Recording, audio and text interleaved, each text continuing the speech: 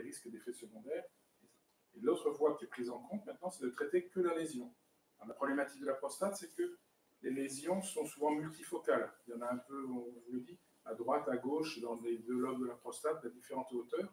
Ce n'est pas la même lésion qui progresse sur centrifuge. C'est des cellules qui se transforment à peu près aux mêmes périodes, qui vont faire émettre des clones de cellules qui vont se développer chacun pour son compte, certains plus agressifs, certains moins agressifs.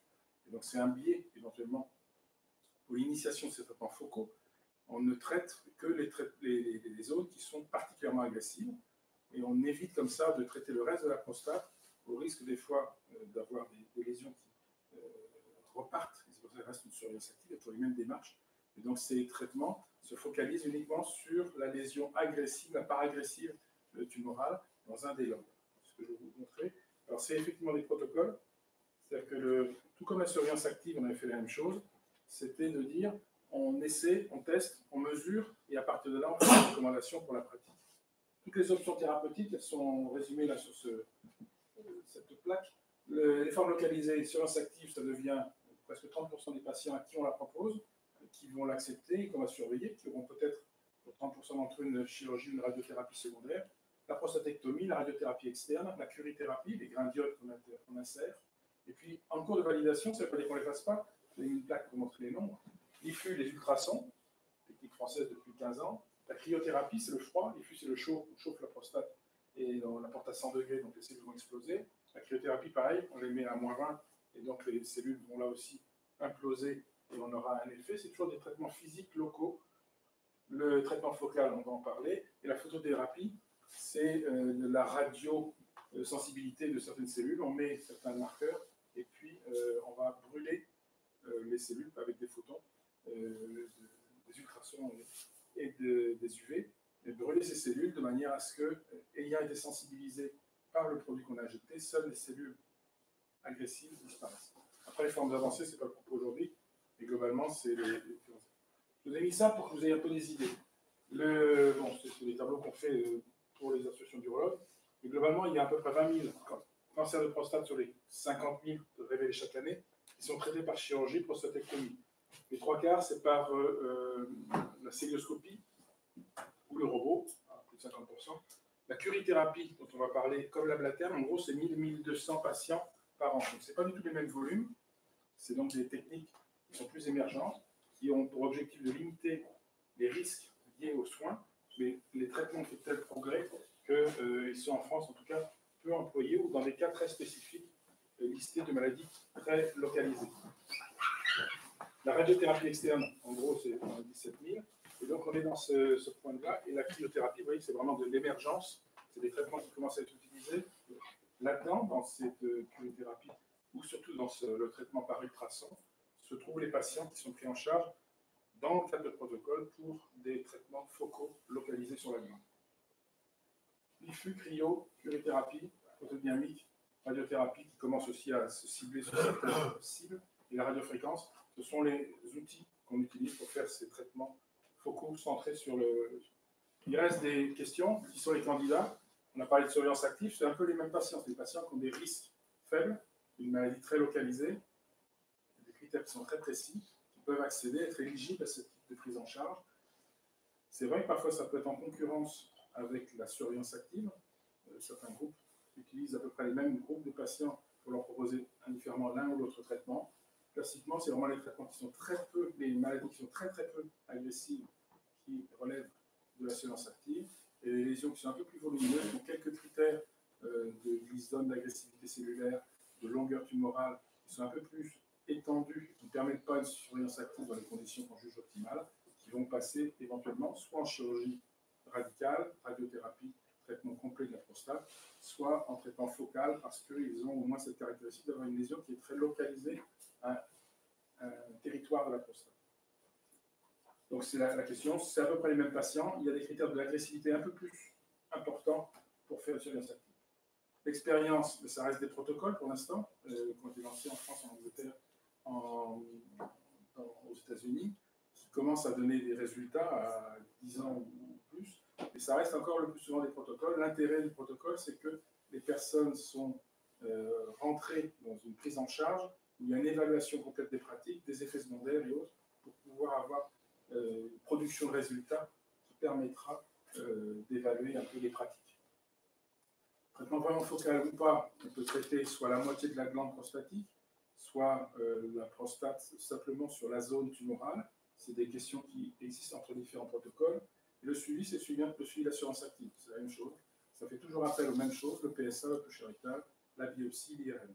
Et donc, c'est une combinaison de ces tests qui permet de savoir si la maladie euh, est bien régulée, contrôlée, ou si on voit une évolution qui justifierait d'interrompre euh, cette procédure de surveillance après traitement focal et d'aller euh, passer à un traitement actif chirurgie radiothérapie.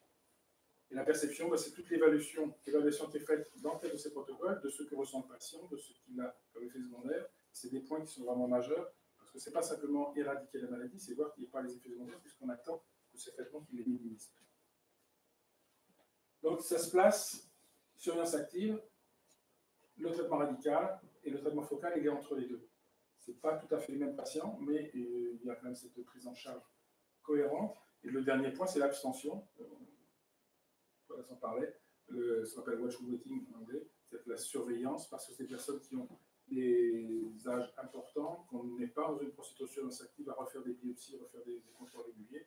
On attend, on fait des traitements euh, de la gêne urinaire, et puis, euh, si jamais c'est nécessaire, si votre maladie progresse, il y aura des traitements du cancer qui seront jugés sur l'évolution par le PSA, le charital et ce que ressent le patient. Là, on parle des traitements soit par les ultrasons focalisés, soit par la curithérapie.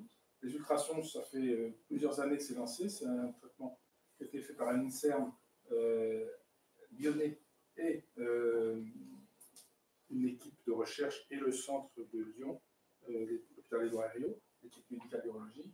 Et donc, il y a des progressions Vous avez entendu parler peut-être de la blaterne, qui était la machine, c'est le nom de la machine un peu, le frigidaire. On a pris le nom pour, focaliser, pour donner le, le terme générique pratiquement du traitement.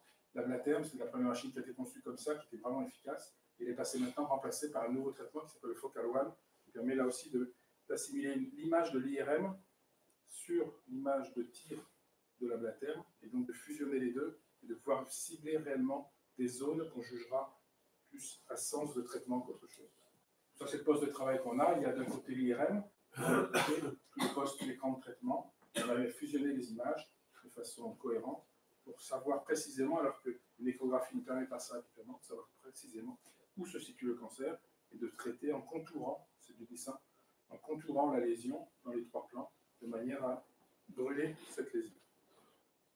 Donc on fait un planning de traitement, si on veut dire, l'IRM c'est vraiment un robot par rapport au robot chirurgical qui est la télémanipulation. L'IRM on programme sa cible, on la contourne dans les trois plans, et puis on applique les ultrasons cette zone-là va être brûlée par le traitement. Donc on peut dessiner, c'est l'intérêt du traitement focal, on peut ne traiter qu'une hémi-prostate, traiter une zone simplement, ou alors euh, décider de préserver les bandelettes vasculo-nerveuses, donc tout ce qui peut donner l'érection, d'un côté, ou voire parfois des deux si la lésion est plus centrale. Donc ça permet vraiment de traiter la demande. Après, on continue la surveillance et on ajuste la prise en charge en fonction des résultats qu'on va obtenir du PSA, de l'écho, euh, de l'IRM ou des biopsies de prostate successives, voire du PSA. Diffus est utilisé en trois domaines. Cancer localisé, on traite la prostate. Les échecs de radiothérapie, curithérapie, c'est vraiment quelque chose qui est efficace et qui permet d'obtenir une seconde prise en charge, pour le traitement de rattrapage. Traitement focal, on, en parle. Et puis, euh, on peut reprogrammer le diffus. Ce n'est pas comme un traitement de radiothérapie, on ne peut plus faire de rayons. Là, on peut faire de euh, traitement par les ultrasons de façon répétée lorsqu'il peut y avoir une récidive ou une lésion qui apparaîtrait sur l'autre partie de la glande prostatique, celle qui n'a pas été traitée. Donc voilà, ça c'est les modulations de traitement. On a toutes ces zones au sein de la prostate, on peut traiter tout, partiellement, euh, ponctuellement. C'est des orientations qui se mettent en place. L'important, c'est que pour l'instant, ce soit analysé. Il y a un protocole français qui est lancé, mené par les Lyonnais, national, qui permet de euh, mettre tous euh, les patients dans le même système informatique pour produire un résultat et qui permettra d'orienter après les recommandations de pratique. C'est l'essai français initial qui avait été lancé, quand on avait voulu montrer il y a, il 10 ans l'utilité de ces traitements. On faisait l'hémiprostate, la moitié de la prostate, et on voyait qu'il y avait très peu d'effets secondaires. C'était des résultats à 3 ans, très peu d'effets secondaires, peu de fuite urinaire, peu de troubles de l'érection. Donc on jugeait que c'était un bénéfice Parce que quand on fait le traitement complet, même par l'ablaterne qui donne moins d'effets secondaires, traitement complet de la prostate, on avait quand même des, des sites, euh, des effets secondaires d'incontinence sévère, 5%, 4%, 3%, ça reste euh, malgré tout dans ces traitements complets, et ça c'est des résultats à 15 ans, c'était l'ablaterne avant que ce soit le focal one. On avait comme des, des, des fuites urinaires qui étaient euh, présentes, euh, des résistements de l'urètre, je vais l'élargir, mais c'est reste quand même des, soins supplémentaires pour les patients. Les fistules, c'est tous les patients qui avaient eu des radiothérapies et à qui on faisait des euh, corrections, des échecs ou des traitements de rattrapage. Donc il y a eu parfois quelques fistules à ça, et dysfonction érectile, qui était même pratiquement de 40% euh, lorsqu'on fait le traitement complet. Si on brûle les deux nerfs et les vaisseaux de l'érection, on obtient un trouble de l'érection. Il faut aller ajuster si on voulait intégrer cette prise en charge, cette diminution de, des troubles de l'érection chez les patients qui recevaient un traitement par ultrason. C'est pour montrer que depuis plusieurs années, les protocoles commencent à émerger pour toutes les prises en charge que vous citées, et on arrive quand même à avoir euh, des résultats qui commencent à être produits, en plus de l'étude nationale maintenant obligatoire, tous les patients vont être inclus là-dedans, euh, qui produisent des résultats à long terme d'efficacité et de morbidité suite à ces traitements. Deux choses avant de terminer. Ces protocoles, c'est vraiment essentiel. Tous les patients sous ablaterne sont mis dans l'étude qu'on appelle UFI, euh, qui est financée par ce qu'on appelle le forfait innovation au niveau national. C'est la, la sécurité sociale qui finance ça. Tous les patients doivent dedans. Et on produit des résultats comparatifs avec la prostatectomie totale.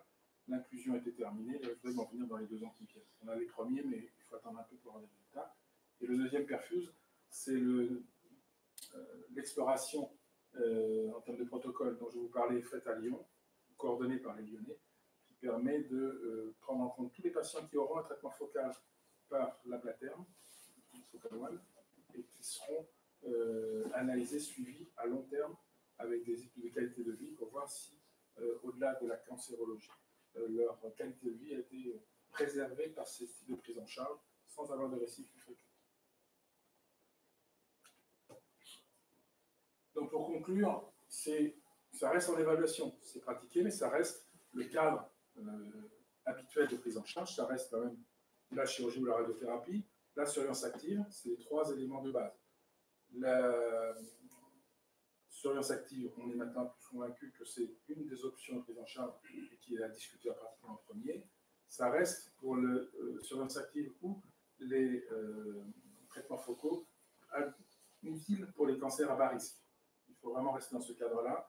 Certains, surtout les Anglais, font des traitements à plus haut risque. Ils ont plus de récidives, plus de traitements secondaires.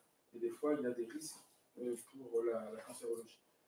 Placé entre traitement radical et assurance active, et les options actuelles, c'est l'IFU essentiellement, la cryothérapie, très peu, euh, la curithérapie, il y a des protocoles qui sont lancés, notamment à Toulouse, euh, qui vont faire ça, et le traitement photodynamique, c'est Angers, ils commencent à faire sur des hémiprostates là-dessus. Et la dernière chose, c'est euh, active plus ces traitements par, on dit la paliotamide, il y a ce produit qui agit en intérieur des cellules, l'anti-androgène, et qui permet de prolonger la durée de surveillance active. Donc, c'est ce qu'on teste aussi ici, actuellement. Voilà, merci.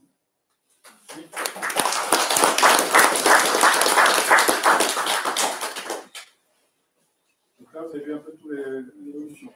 La prévention, dépistage, on en parlait. L'important, c'est que chaque homme connaisse sa valeur de PSA et après que son médecin traitant ajuste, parce que c'est 80% des cas, la valeur du PSA initial, c'est le médecin traitant qui prescrit le test, ajuste la, le suivi du patient en fonction de sa valeur de PSA initiale. S'il est moins de 20, ce n'est pas la peine de le refaire de façon régulière, on attend 5 ans, 10 ans parfois, et il y, a pas, il y a peu de risques, en tout cas, que ce soit par le PSA qu'on révèle la prostate.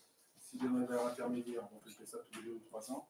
Si le PSA est anormal, on consulte l'urologue de manière à aller plus loin et se poser la question de l'éventuelle biopsie. Ça, c'est la prévention. C'est important que chacun ait cette notion à titre individuel. Euh, on a franchi le cap où le PSA n'est plus utile. Les études américaines, là, les recommandations américaines se sont modifiées. certains les appliquent encore, mais globalement, la recommandation américaine maintenant, c'est d'informer chacun et de réaliser le test de PSA et après d'agir de façon raisonnée pour euh, le reproduire ou pas. Il y a trop de PSA fait en France, ça c'est sûr. Le deuxième point, c'est euh, du domaine du médecin traitant à l'urologue, c'est le domaine de l'urologue, c'est de faire la biopsie. C'est pas parce que le PSA est anormal qu'il faudra faire la biopsie. Il s'agit après de raisonner en fonction du volume de la prostate, des antécédents, de la gêne, des infections possibles et autres. Et après, on pratique, on pratique pas la biopsie. Elle est réalisée le plus souvent sous fusion d'images maintenant, donc l'IRM prend une part. On a les images qu'on obtient euh, par euh, l'IRM et on les transpose sur l'échographie pour les cibler des zones qui seraient plus à risque d'avoir des cancers agressifs. Ceci étant, l'IRM n'est pas le corollaire d'un PSA normal. Pas parce que le PSA est anormal qu'il faut systématiquement On fait la biopsie, on propose de faire la biopsie et on fait l'IRM juste avant pour avoir cette information pour la fusion d'images. Dans aucun cas, elle n'est faite de façon systématique et régulière. Et puis, dernier point, c'est euh, la prise en charge collective de tous les spécialistes du cancer de la prostate pour aller proposer un traitement qui peut être la surveillance, les traitements par radiothérapie ou chirurgie. Et ça, c'est ce qu'on appelle la réunion de concertation pluridisciplinaire qui pratique ça. C'est là où il y a l'intérêt de cette concertation et autres. Si on va aller plus loin, c'est la prévention des effets secondaires. On sait que tous les traitements vont générer, que ce soit des traitements locaux ou hormonaux. Et là, il y a aussi une discussion générale et des organisations, comme nous montré Lino, d'avoir des prises en charge qui soient coordonnées entre des spécialistes médicaux, non médicaux, euh, soignants, non soignants, de manière à avoir une meilleure qualité de vie et un moindre risque d'avoir une évolution de la par des choses qui sont relativement simples qu'il faut organiser à titre individuel. Voilà, je vais résumer un peu cette première partie de matinée. Et donc, on va parler maintenant donc, de tout ce qui est le, les, les, prises en charge d'un point de vue de rhumatologie, des effets secondaires, même indépendamment de ça, de pathologie prostatique tumorale. C'est l'effet qui va intervenir là-dessus et vous présenter la démarche euh, qui est validée par les urologues et rhumatologues et qu'on met en place ici, de ces concertations autour de, du risque d'évolution.